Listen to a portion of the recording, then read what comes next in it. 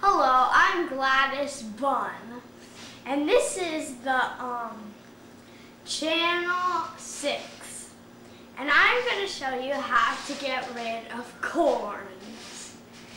This is ointment. It is called corn-free ointment, and you can use it anytime. Say this was a corn, and then you simply rub the ointment on the corn.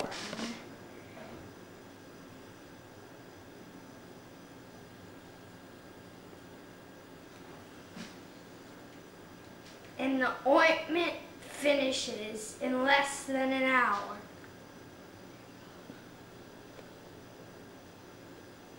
Look, it's gone. As you can see, the corn has vanished from this special ointment called Disappearing Corns. It is very good to use because it disappears in less than a minute. it is great to use after you take a shower. Rub it on your corn very gently.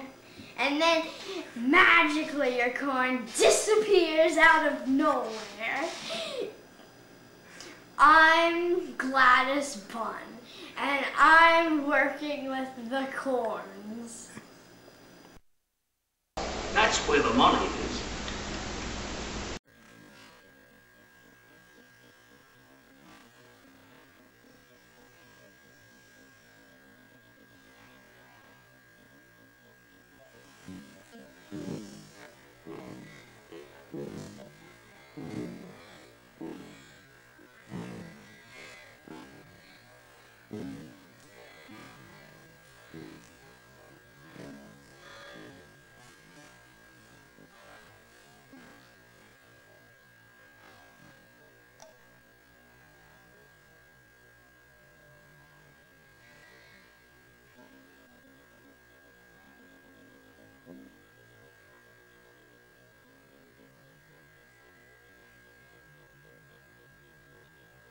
out of nowhere.